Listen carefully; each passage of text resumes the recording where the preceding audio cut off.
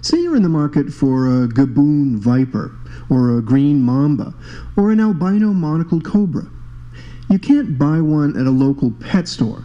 The sale and possession of venomous or hot snakes, as they're called,